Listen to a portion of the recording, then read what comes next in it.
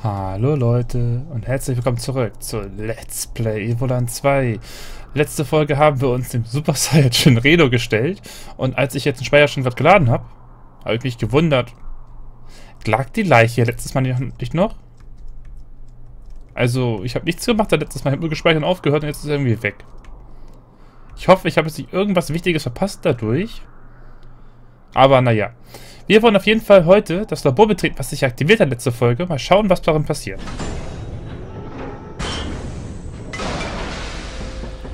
Okay.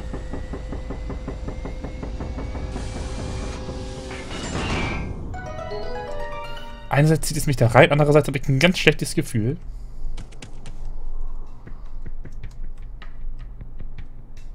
Okay. Nicht so einladend sieht es drin aus. Ich kann schlagen. Okay, was passiert jetzt? Unglaublich! Solche Relikte habe ich doch nie zuvor gesehen. Ich habe ein ungutes Gefühl bei dieser Sache. Ich auch. Es scheint so... Es sieht so aus, als sei dieser Ort ähm, seit einer ewigen Zeit verlassen. Da leuchtet Energie. Ich finde, es sieht nicht so verlassen aus. Ich vermute, seit Professor Giros Verschwinden hat sich niemand mehr hier äh, verirrt. Wie denn auch die Tür war zu. Das war 50 Jahren. Da stolpern wir ja irgendwo über seine Gebiet Gebeine. Oh nee. Gebeine? Ja, doch. Wenn wir Glück haben. Von wegen Glück. Schließlich ist der Professor aller Wahrscheinlichkeit nach hier gestorben. Hm, ich frage mich, wozu das hier gut ist. Nicht ausprobieren. Ist die beste Reaktion überhaupt. Ein Gespenst. Komm, du kannst dir doch denken, dass das kein Gespenst ist, oder? Sieht mir nicht nach einem Gespenst aus. Ja, mir auch nicht. Eher nach einer aufgezeichneten Nachricht. Warum hören wir sie uns nicht einfach an? 15. Februar 947. Ich habe vergessen, welches Jahr wir gerade haben. Soeben bin ich in, in dieser Zeit angekommen.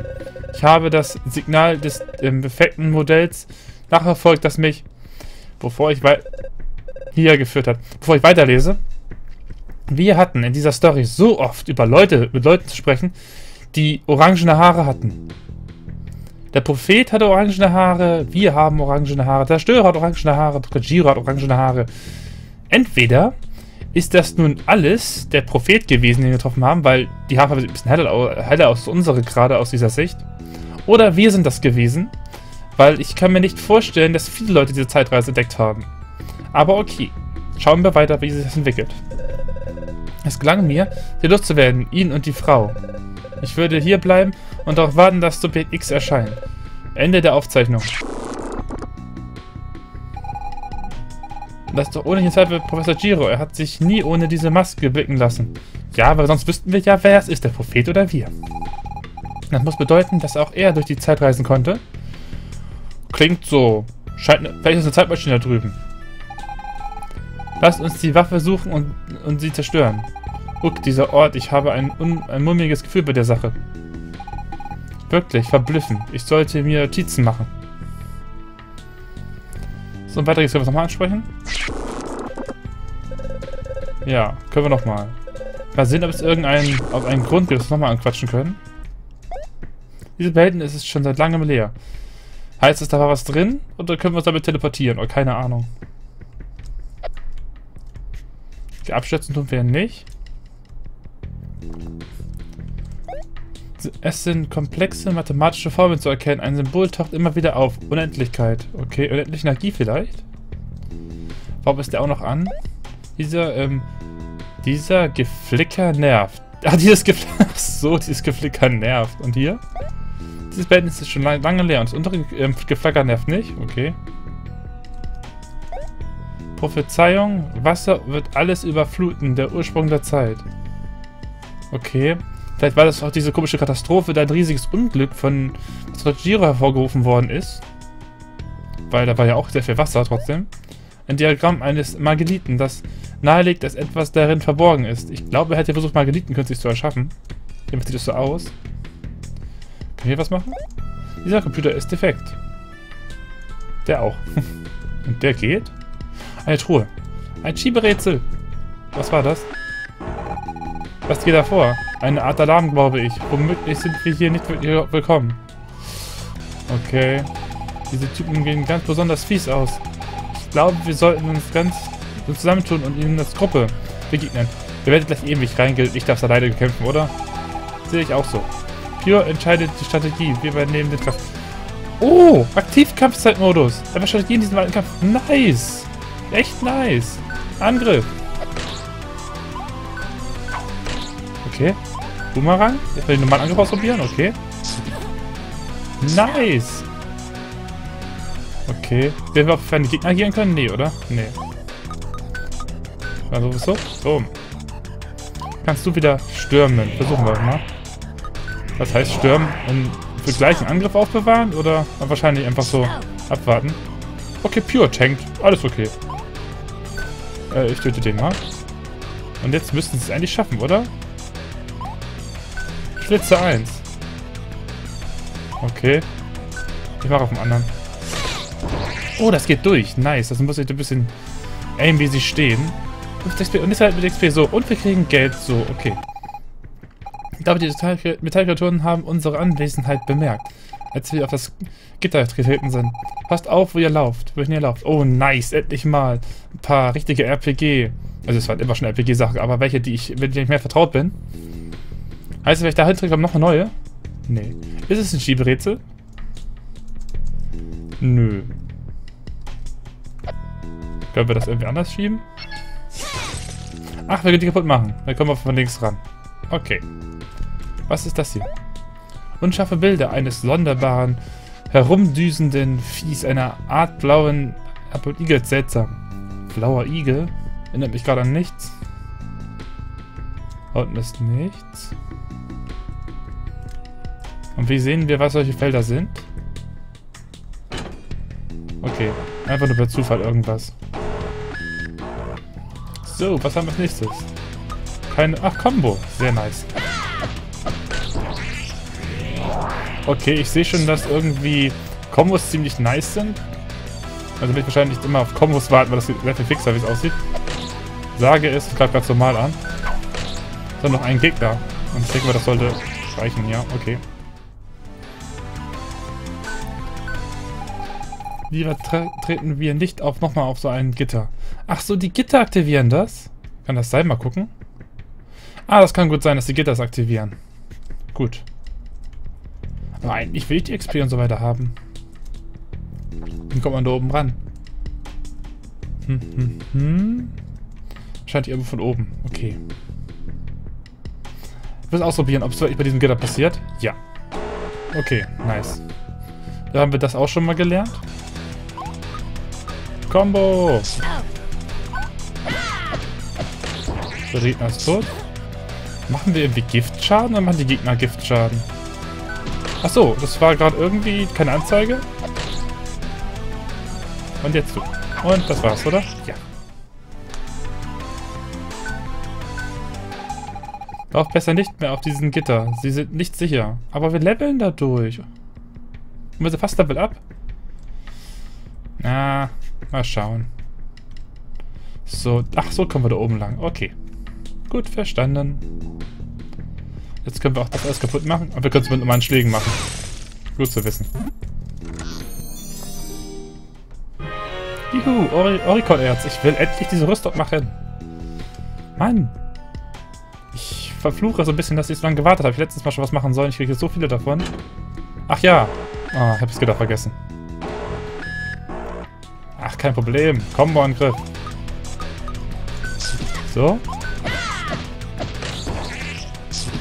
So, und jetzt greifst du normal an. Wenn ich... Ach so, das... Ein bisschen was Anzeige wäre, wenn sie fertig wird während des Combo-Angriffs. Das war's. Und Bumerang. Juhu. XP. Das ist kein Spiel. Hört auf, die Kinder zu treten. Das macht ihr mit Absicht. Ein bisschen. Geht's nochmal? Nö. Ich mach das echt so ein bisschen mit Absicht. Aber das war gerade aus Versehen, der letzte. Das funktioniert, das funktioniert nicht. Okay.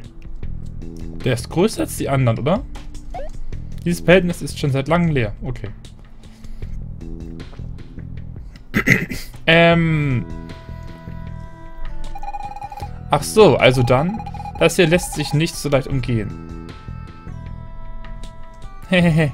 Bosskampf? Fragezeichen? Noch ein bisschen größerer Gegner nur. Okay, dann. So. Angriff. Oh, er lebt noch. Ah, jetzt ist er tot. Okay. Vielleicht wir auf Combo-Angriff warten. Okay, gut. Und du machst kurz normalen Angriff. Nein. Dieses Kratzen im Hals. So, normaler Angriff und noch ein normaler Angriff und dann war es das auch. Gegner werden also stärker. Müsste der abreichen, oder? Immer noch nicht. Es kommen noch mehr. What the? Okay, ich mach's diesmal anders. Also das, das bleibt, das ein Combo-Angriff. Aber ich möchte, dass du ähm, Stürmen machst. Gut. Das ist ein härterer Kampf, ich sehe schon. Können wir heilen? Muss einmal testen. Oh, ich hoffe, dass wir ganz viel heilen können. Hm, hier kannst du nur Combo-Angriff machen. Okay. Du machst Eis. Äh, in die Richtung, damit wir alle treffen. Oder zwei wenigstens. Ich guck gleich mal, ob Fina heilen kann. Ah, das ist ein harter Kampf. Oh, die bleiben nicht vereist. Schade. Magie. Heilen. Äh, heile sie mal erstmal. Gut, ach, das ist halt viel. Das ist gut. Erstmal einer weg. So, das ist besser. Pure kann er nicht heilen, was ziemlich schade ist. So, das heilt sich die Heilerin erstmal selber. Nein, ich habe mich verdrückt. Was macht das? Ach, verwirren. Nice. Dann greifen wir einfach mal weiter an. Müssen eh gleich Level up sein.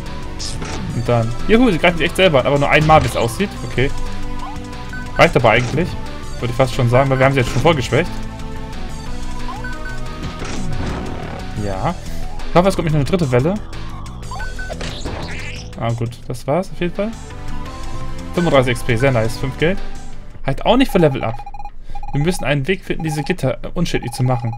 Gegen all diese Kreaturen haben wir keine Chance. Findest du? Ich finde das gar nicht so schlecht. Okay. Man kann die Kämpfe auch ungefähr umgehen. Oder auch nicht. Ist hier oben noch was? Können wir da rangehen? Fehler. Letztes System Sicherheitssystem ist noch online. Letztes Sicherheitssystem ist noch online. Okay. Sagt er auch. Müssen, ah, da oben geht es auf jeden Fall weiter, würde ich sagen. Kommt auf so ganz kleinen Gittern so ein, ähm, so ein Kampf dann? Oh, da unten ist eine Truhe. Oh, was? Aha. Ich glaube, ich muss die alle in der richtigen Reihenfolge aktivieren. Ah, daran geht's. Okay. Habe ich schon gewundert, ob ich das schieben kann. Okay, ich muss alle in der richtigen Reihenfolge wahrscheinlich aktivieren. Gut zu wissen, aber ich will die Truhe jetzt noch kurz holen. Nein. Warum denn jetzt mal so viele?